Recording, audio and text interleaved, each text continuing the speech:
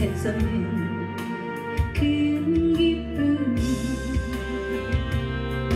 오늘도 능력이 되어 나의 길 밝혀주시네.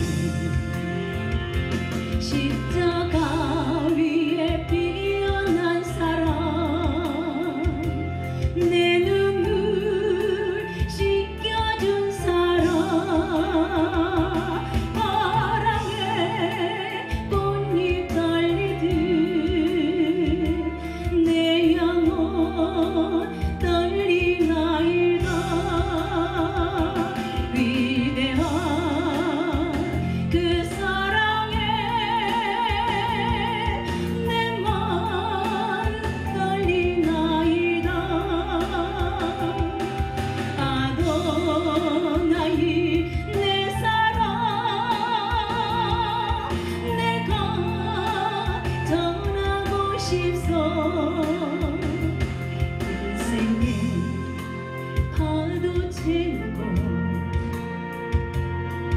Susie.